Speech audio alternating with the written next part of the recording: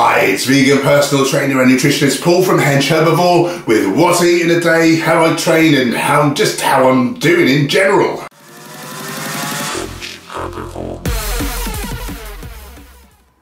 Oh, hello. You've caught me taking my supplement. Excuse me while I just take this one. He's taking a subada. I've not really talked about my supplements for a while, so I thought I'd mention it today. First thing first, I get my CBD in, which you just saw. I get my omega-3, B12 and D3. There's some new news out about D3 and helping you not become so ill with the coronavirus. So um, link down below, 10% off with code HENCH10. I'll get them, them in me.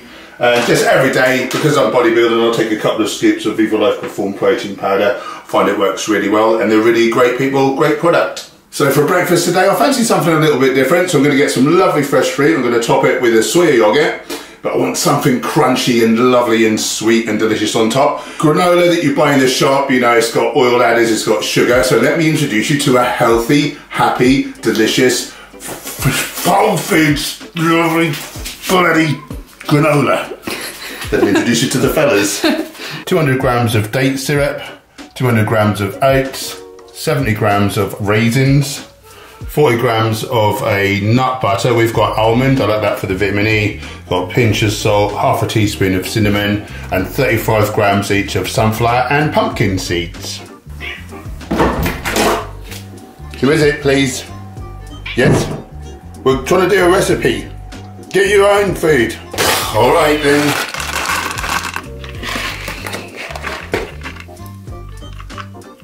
Preheat your oven to 150 degrees Celsius. Add the date syrup to a bowl and the butter.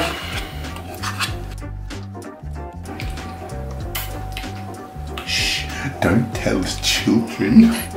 Cinnamon and salt. Hello, whisk around. I call this bulking sauce. Bulking sauce. Now you put in your oats and your seeds. Mix it up. So we're going to add half to this tray lined with parchment paper. And you want to spread it out really thinly, so we're going to have to do ours in two batches.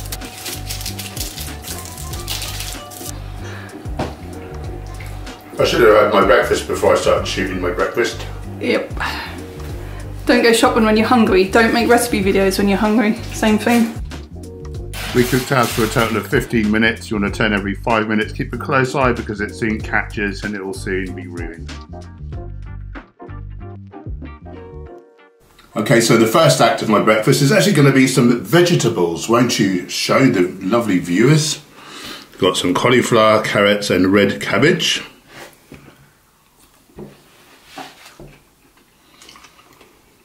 Just got a tiny bit of salt, some black pepper on there. Tastes delicious to me. Now, if I was to eat this masterpiece first, I would not be enjoying this. Because I'm cutting, I'm very hungry. You know, vegetables taste amazing to me. So I'm going to get these down me first. I'll see you in a few seconds. Pardon me, a burp cummed. Right, let's try this bad boy out. I'm excited for this one. Hmm.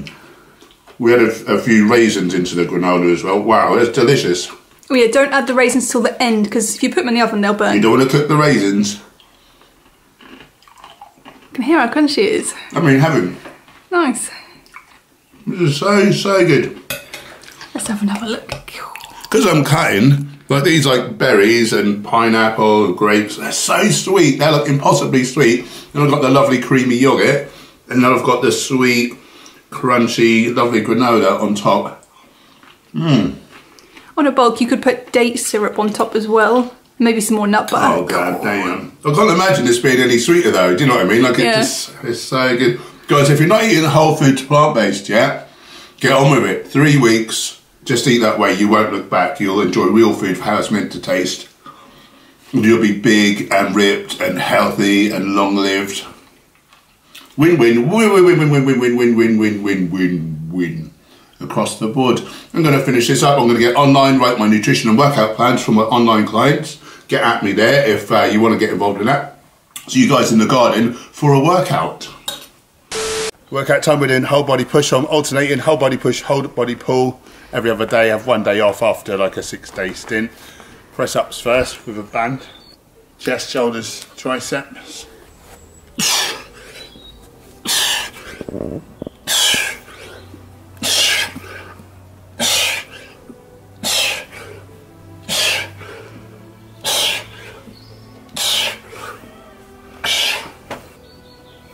Now, sissy squats for the quadriceps.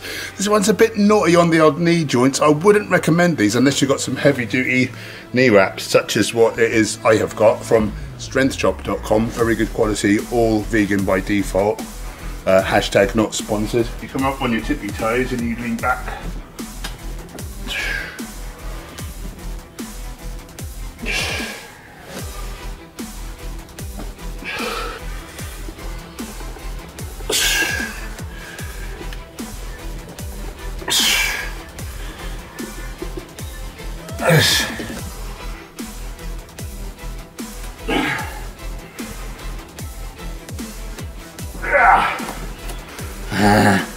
Your favourites. Kim was working on a wrist strength. This little cat's hiding up from the camera. You come back here. Cowboy, you, he's got in the doghouse. He's in the doghouse.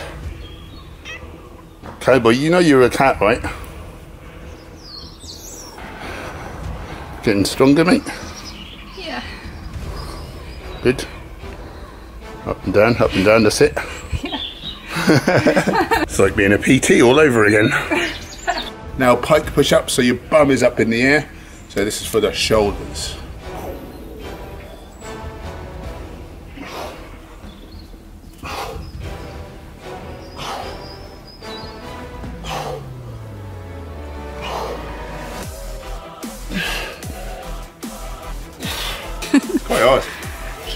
Impressed really. it looks hard. Never done a lot of these bodyweight things before, never had to, and uh, pleasantly surprised with the actual uh, feel of them. Feels like I'm, you know, working those specific muscles. Good. Now I'm doing some calves.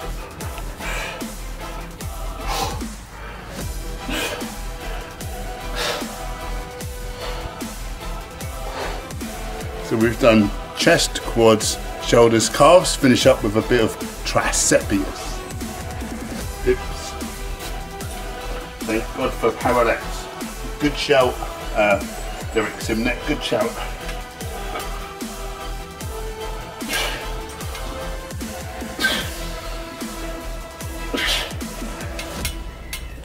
Workout complete. It's all going pretty well, really. I mean, I'm cutting anyway, so I'm just trying to shed the old fat. It's steadily coming off as it was when I was at the gym. Quite enjoying this new exercise routine. Getting slightly stronger in it. I mean, I'm not really going to grow any muscle because I'm in a deficit anyway. I feel like I've got good pump, good all round workout. Let's see what the difference is. Training at home, mostly body weight with bands, versus training at the gym. I'm interested to see how we end up at the at the finish line and see kind of how different perhaps I look. I'm wondering whether it won't be all that different, to be honest. Pleasantly surprised. A few moments later. It's lunchtime, being on a cut, I want to fill myself up, so I'm going to go with a nice voluminous, our word of the day. it's going to be a bean, potato and veggie curried stew. Let me introduce you to odds and ends we found uh, that we need using up, mostly, and other stuff. By the way, this is going to do me for two meals. I've got 80 grams of lentils They're dried lentils. That makes like a can's worth, which is 240 grams, which is how much beans we've got there that Jem cooked up from dried. They've all gone brown for some reason. Yeah. But I'm sure they'll do the job. How much spuds is this? A Kilo. A kilo of spuds.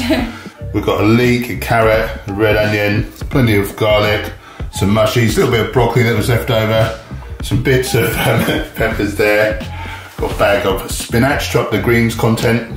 I love this stock as a base for soups and stews and things. Uh, nine meals from Anarchy, real good quality. It's mostly just vegetables, really. Uh, we've got salt and pepper there, and of course, curry powder. I love curry spices so much. They're so rich and warming and aromatic, and they do you so much good, especially the turmeric stuff in there, black pepper. Why am I putting black pepper in twice? Who knows? Let's get on with the recipe.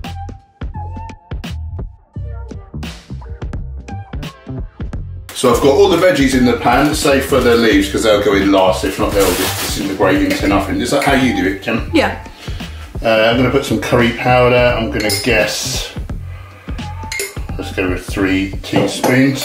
You're going to fill this up with water. So we want to just be covering everything. What do you reckon, mate? About there? Yeah. Or a little more? No, that looks good. Like there. So I've got two litres in there, so I want four teaspoons of this good old stuff.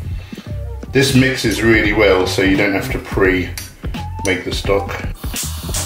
Give that a little mix in, and we're going to cook this for about 10 minutes, just so the potato starts to soften before we add anything else. Okay, so the 10 minutes has passed. You see it's a lovely uh, orange colour now, thanks to the turmeric. I'm going to put in the lentils and the beans. Just put them sub aqua. And we're going to cook for a further 10 minutes.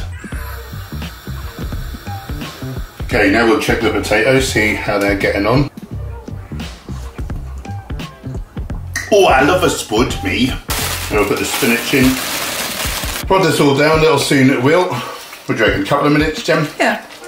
Last minute uh, addition, I'm going to put two teaspoons of coriander and one teaspoon of mint.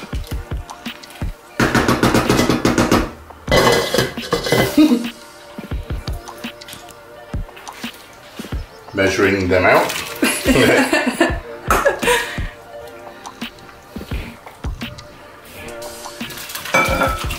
Not the most scientific method, you understand.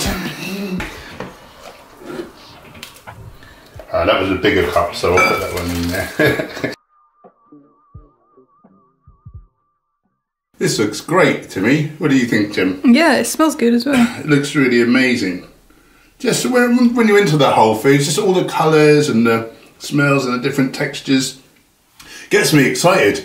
Um, maybe I'm getting a bit sad in my old age. Excuse me a second. that probably meant something. Wow, wow, wee, wow. I love this food so much. It's really simple, but it's just so delicious. Looks good, does you good.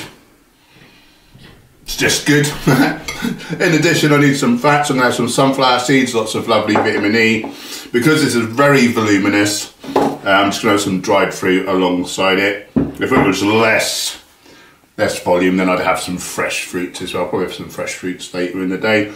Anyway, we're going to get this down as the sun's still shining, so we're going to get over a nearby park. We've not really explored this other park very much. It's uh, quite. Um, it's not like a play park type thing. It's more kind of a little woods area, isn't it, Jem? Yeah. So we're going to have a little look around and see what that's all about. Get some sun on our skin. See you there.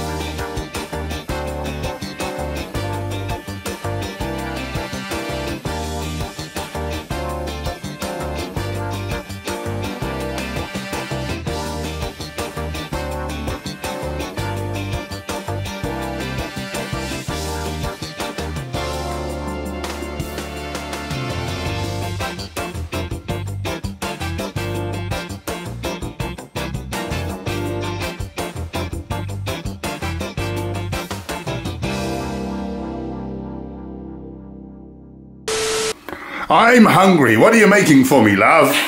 I'm making a pizza. A pizza? A healthy pizza. Say what? I found this recipe ages ago from God knows where, and I haven't made it for a long time. It's so good. So Okay. good. So the base. Introduce me to the Oh, yeah. fellas. Let me introduce you to the fellas.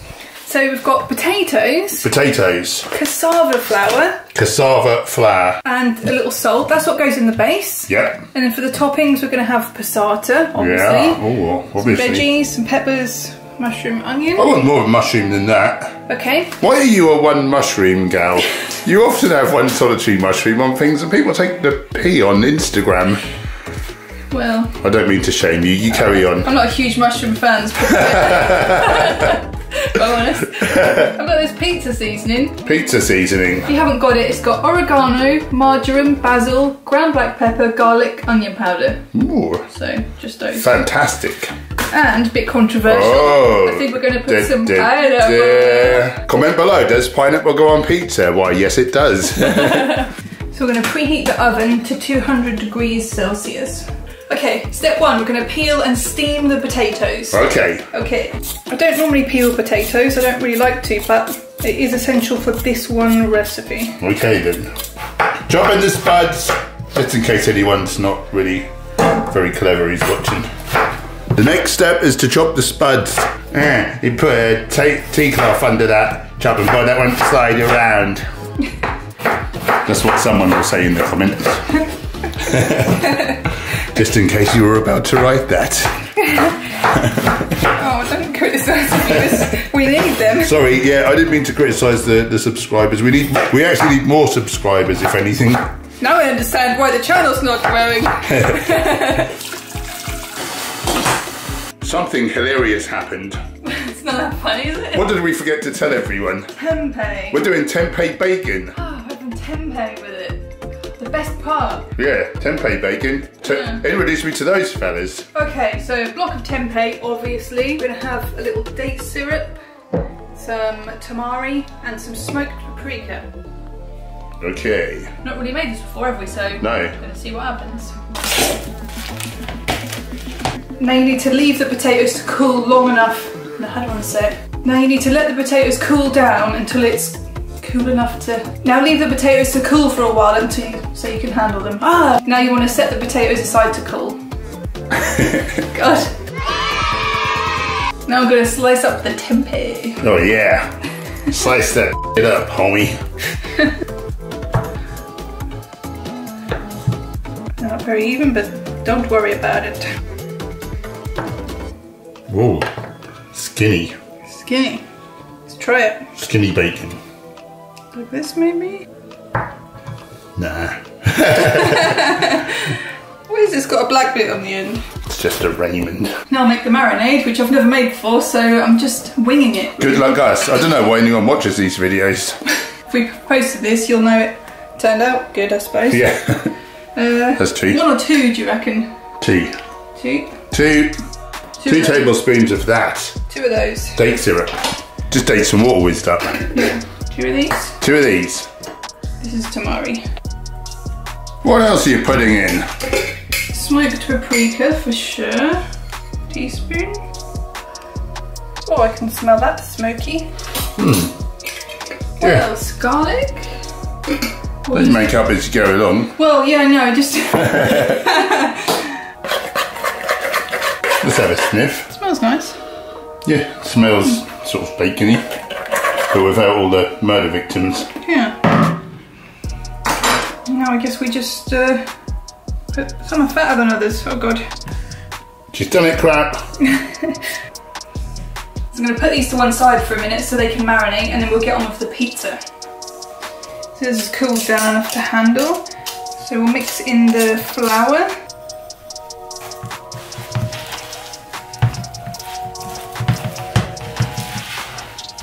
And we need to put a little bit of salt in there as well. See it's starting to get a little bit doughy. Yeah, it's still quite sticky, you know. It's not how you'd imagine a dough to sort of be. But it's still gonna make a nice base. So we've got two here, so I need to divide it up into two. I'll have the biggest one. These are both yours. I'll have both of the ones. Do they look about the same size? No, I like them both the same size, please. like your ones. Don't put that in. I can put it in though. I know you can, but I'd rather I'd rather you didn't. Comment down below, should I have left that bit in? Now, it'd be helpful if we had a rolling pin, which we don't, but you can't worry about such things. the last time I made it, I didn't use a rolling pin, I just used my hands. So we'll do that again this time. Now I've just got to flatten these out into a kind of a round pizza base shape. kind of a round pizza base shape. So you want it to be on some parchment paper on a baking tray. Or if you've got like a pizza tray, that would be even better. Do your best Luigi or Mario impression. I don't know. Pretend I did something really cool. It's hard to imagine. Oh. you. Only joking him. Has he done it or what? I don't know. How's it looking? Yeah, it's looking good. That'll, that'll have to do. That'll have to do. So I'm going to put this in the oven for 10 minutes.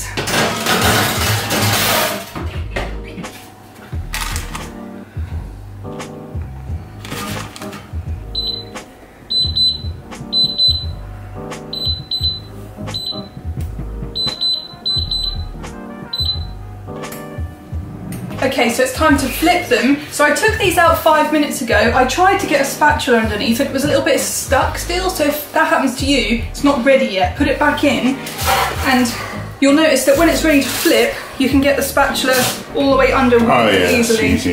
Yeah. I think our oven is a little bit cooled, you know. Yeah, I I think don't might be it's right. hot as it should be. Yeah. So here we go, coming along nicely.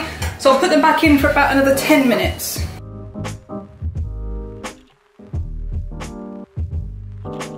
Wow, Now what's happening? Back in the oven for 10 more minutes. Back, uh, back upstairs. Name that show. Yeah, name that show. Okay, now the main uh, part of any food style video is the taste test. So my mouth's watering. Mmm.